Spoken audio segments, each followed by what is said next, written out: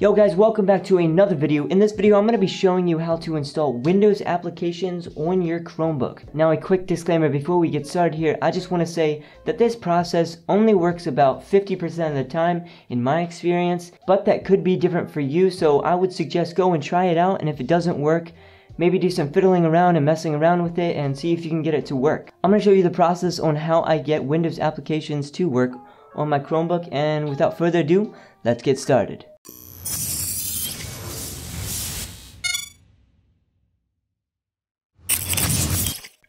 So first things first, before we get started, we are going to need an application on your Chromebook. So if you have the Google Play Store, this is where the app is located and the app is called Crossover.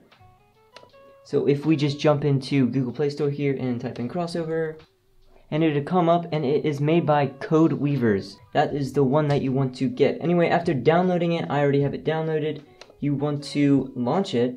This is what it looks like now. It has this big search bar, search applications, and we do not actually have applications in yet so we're actually going to stop right here and this is where you need a Windows computer or you need the Windows download or what I like to do is go into my C drive on my Windows computer and go to program files or program files 86 and find the application that you want and just simply copy the folder and put it onto a flash drive or some device that you can get it over to your Chromebook and then you want to copy those files on directly onto your Chromebook. So right here I have a tiny flash drive and I have Unigine Valley. It was just a quick application that I got. It's an installer, not the files itself. So we'll actually go through the installation process of this. So what you want to do is just obviously just plug plug your USB in and then it should bring it up. Here it is, open up the Files app. And I already have copied it over, so I'm not going to copy it over again just for time's sake. It's about 300 megabytes. And so I just copied this folder and put it into my downloads. Now you can pretty much put this file anywhere that you want on your Chromebook as long as it's located inside the Chromebook like the storage inside the Chromebook. It cannot be still on the USB flash drive or anything else that you're using. Anyway, after you have copied the files over, what you want to do is go back into Crossover and you want to search for your application. I just like this because it's a simple, easy way to get the title right away. So I'm going to type in Unigine Valley and it does not come up. So we are going to click on this little thing that says install unlisted application and that's what we want to do. And then so it brings it up with this little page and so you want to select your installer because we have the .exe file already on this Chromebook and you want to find it. Now it's going to bring like the folders application up here and so you want to scroll down until you find it and there it is, Unigine Valley. And so we're going to click open and then that folder, if we check actually the files where it's located, you can see we're in downloads, Unigine Valley, and it's just a .exe file there. And so back in Crossover, all we want to do is click install because it automatically recognizes that this is a .exe file and that we want to use it and it's for Windows application. So we want to click install. Now give it a second and it'll start installing. It'll actually like boot up into Windows VM and it'll like have its own virtual machine but you won't actually see the desktop. But you can see the desktop later, I'll show you. So here we go. This is the wizard, the setup wizard. So if we just click next, I'm just to install this real quick. Accept. And username.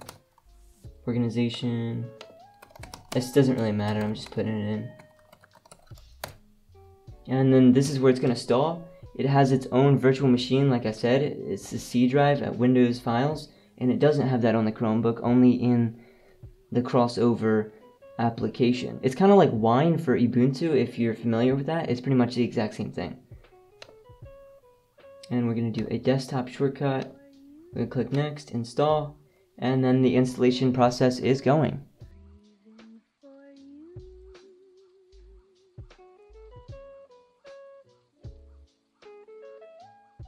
So it just finished there, so I'm just to click Finish here. If it'll hold on just a second.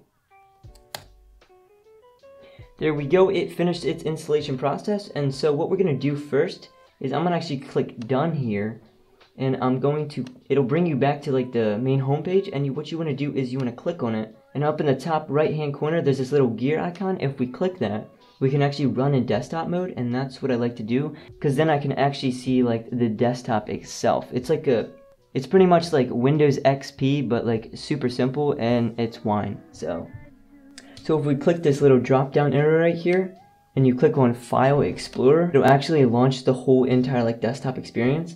And if we stretch it out for the first time, actually if we maximize it, it'll look like this. Don't worry about it, just exit out of it. And then these little three buttons up in the top right hand corner, you want to stop all crossover applications.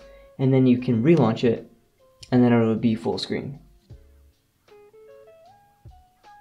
And so this is pretty much just like a Windows XP experience. It looks really old, but it's actually Wine, which is sort of like a Windows variant type thing. I don't really know what it is. Anyway, we are here to see if Unigine Valley Benchmark actually works after we installed it. So you always have to have an application open, so you usually can't just close this. I'm just going to minimize this.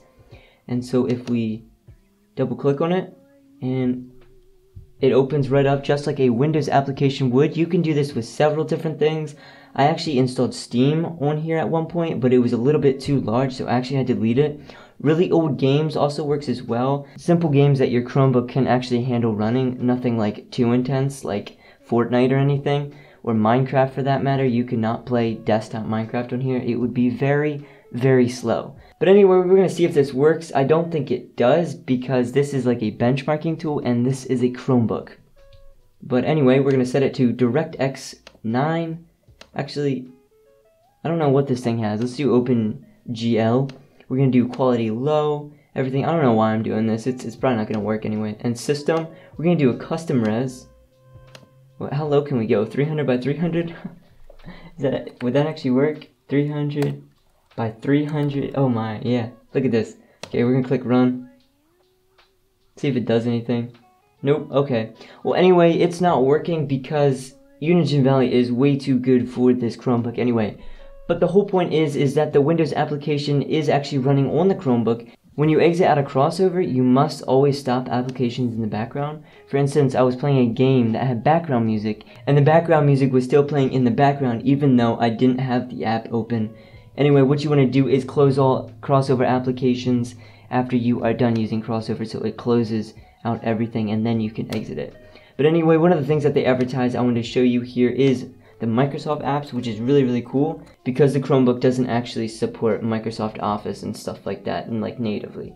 Anyway, this is a cool tool that you can use for free to install window applications on your Chromebook. And if you have any questions, just please leave them in the comments and I will try to help you in any way that I can. And with that being said, be sure to like, comment, and subscribe, and I will see you in the next one. Peace.